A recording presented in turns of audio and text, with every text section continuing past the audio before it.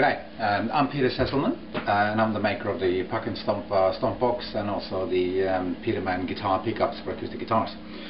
Um, today I'm going to show you how to make your own stomp box for those DIYers out there and this is a kind of like a traditional type stomp box like the old Apple crates which had, um, you know, you stomp your foot on one side, it's got some rattles on the other side to make a bit of a rattly sound and it's been quite popular lately. Uh, people like um, Seasick Steve and, and, things like that are using this type of units and they're building their own. I can see why, why people want to make their own, you know, so it's a lot of fun fiddling around the shed. Um, so I'm, actually on my website you will find a, um, a kit that kind of shows you how to make your own as well. So this video I'm going to do a quick demonstration on how to make what is called a Mississippi drum machine or a porch board or a stomp box or whatever you want to call it. So First off, um, you need a wooden box. Now, I built this box, but you could probably find a box like this anywhere in any junk shop or something like that. Just make sure it's not too thin. A cigar box might be a little bit on the thin side, so you want to go a little bit heavier than that. Um, what I've done to save a bit of time here, I've drilled a couple of holes in it. I'm not going to show you how to drill a hole. I assume you know how to do that if you're going to build your own stomp box. So you can see here, it says a wooden box. I drilled a couple of holes here and a couple of holes on the side here which have been recessed so that the jack plug will fit through and the nut will be able to screw on because this is a little bit too thick for a standard jack plug. So no magic, just drill a large hole halfway through and then a smaller hole all the way through and that will allow the jack plug to fit through. So that's pretty much it for the box. The other thing we have here is I've got a little metal plate just made from normal galvanized steel. Uh, people use things like number plates. Uh, the best ones, I believe, are the Mississippi number plates or license plates for cars. Unfortunately, I'm in Australia, so they're not that easy to come by here. So I'm just using a gal plate. Um, the other thing I've got here is I've got a little strip of aluminium, got some screws, a couple of rattles from an old tambourine that I pulled apart, a little bit of, of um, foam with the sticky back. So you can peel off and glue on. So it's like a closed cell foam. It's um, well, you can get that from any any hardware store or rubber wholesaler. Um, I've got a glue gun. This is my favorite weapon of choice double-sided tape will be okay too, but I prefer the glue gun.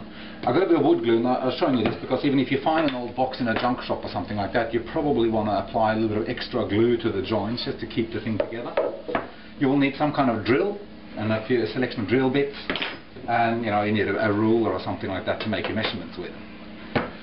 So um, and then of course you'll need the transducers which are available off my website. So this is the bass transducer, that's the one that gives you the kick drum sound and um, this is the um, treble transducer um, which will apply to the, uh, the kind of tambourine rattle type thing and that'll give you the high sound. So I'm going to show you how to assemble this next. Okay, so um, I got this piece of aluminium and the reason I use um, aluminium is uh, it seems to have the kind of like the highest ting sound. You can experiment with different metals, um, they all give different sounds, but I'm going with the aluminium. Um, I, you can see there's got some holes drilled in it there not necessary. Uh, they were just passed of a um, or part of a past experiment that uh, didn't really work, so very little consequence. So, um, but the, the two holes here uh, is where the unit's going to be attached to the box, so they need to line up with the two holes that you've drilled in your box, or vice versa. Drill this first, and that after, or this first and that after. That's really up to you. Makes no difference. Um, so, what we're going to do, I'm going to assemble the rattle first. I'm, I'm going to take um, my scissors and I'm going to cut two little squares of the rubber-backed foam. Like that, just two little squares like that. And I'm going to stick those over the holes that are cut in the box. So there I go, on top like that. Then I'm going to put a take a screw, put a washer on it, and I'm going to poke it through. So it pokes out the back. Another one on this side. Pokey pokey. There we go. Do the hokey pokey. So it looks like this. you come through the, the inside like that. Then I'm going to take my two tambourine rattles. You can use two, you can use four, you can use as many as you want. No, no restrictions. So I put those on like that. Then I take my aluminium plate and I put the two screws into the holes that I've made there.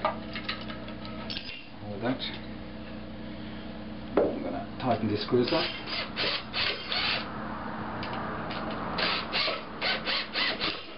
Right enough so, a, so it doesn't hang out the bottom.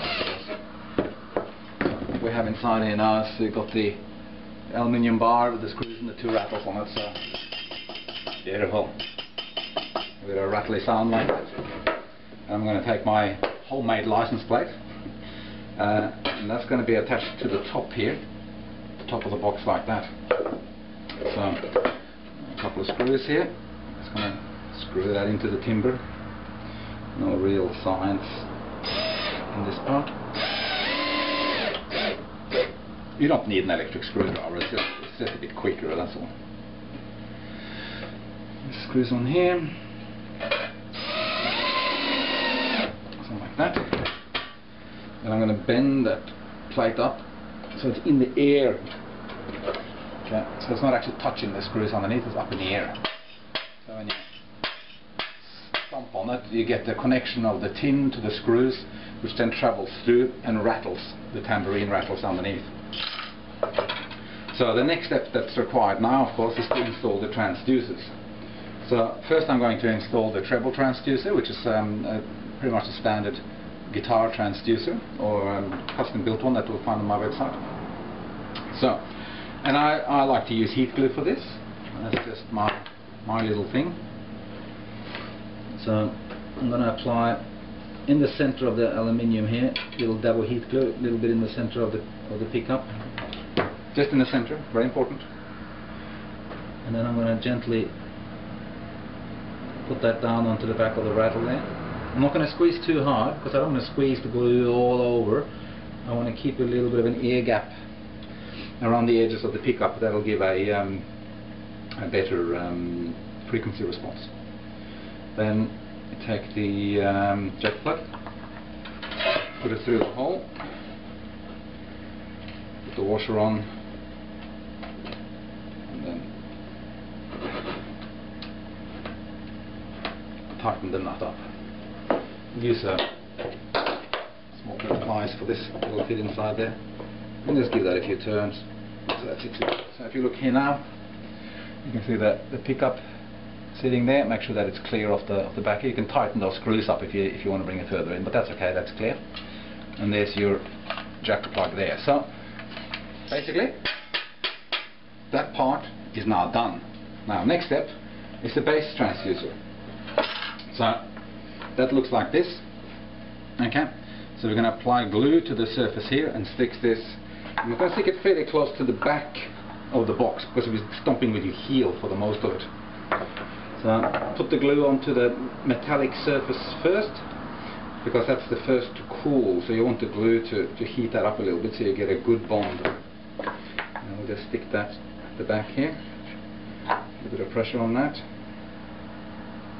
Perfect the little transformer which is in here. I'm going to glue that down as well so it doesn't rattle around too much. Again this little blob of glue and I'm going to stick that just inside the box. Keep it nice and secure. And then the same jack plug goes through the hole.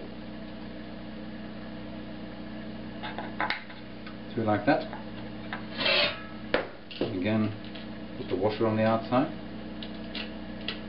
tighten her up.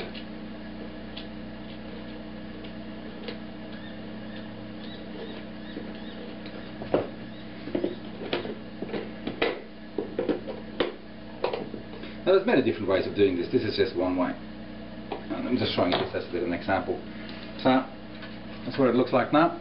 The bass transducer sits on the heel there. The transformer has just been glued in situ to keep it safe. And the jack plug is now coming through the hole. Well, if you want to, you can be fancy and you can cut yourself a little bit of ply or something like that and make a nice little lid for the back of it to keep it all nice and secure. Since it's only a demo, I'm not gonna bother. Now, what's important next is that this unit needs to have some suspension in it. Uh, for one, it'll slide across the floor if it doesn't, and also you won't get the full bass response. So, again, using the double-sided, um, oh, sorry, not the double-sided, the rubber strip with the glue on the back, I'm going to cut some some strips. So I'm going to cut it down the middle, like a slightly thinner one, and I'm going to apply, and I'm going to cut that in half again. And I've got this long, skinny bit, and I'm going to stick that on the edge here, like that. And take the other one. Off we go. There we go. Beautiful. That's on there, and the same at the back. So again with the scissors, and that there. Glue that there. So you can see here, I've glued a bit of rubber in each corner like that. When you put rubber on the base, if you put a whole uh, lid on the back, don't use a too big a piece of rubber because it'll be too hard for it to, to have that movement in it that it needs to make the sound that you want. So that's basically it. It's now finished. It barely took a couple of minutes. Um, I pre-drilled a few of the holes, but that doesn't take that long either. So there you go. A Mississippi drum machine. Now I'm going to take it into my music section. I'm going to play something for you, so you can see what this uh, what this unit sounds like. A lot of fun. A lot of fun, I'm telling you. So I'll see you in the music part.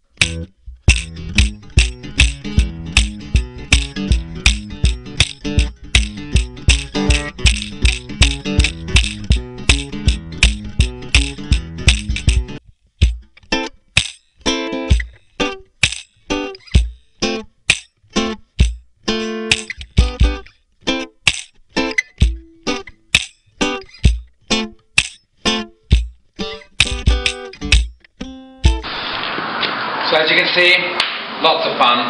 Uh, you can, the, more you play it, the better you'll become at it, and the more you'll get out of it. So um, look, knock yourself out. You know, have um, have some fun with it. It's um, it's really cool. as I said, check out my website for all the details on how to make it, and also the parts that you need. And if you do decide to make one, why not drop me an email and let me know how you went. Uh, good luck. Catch you next time.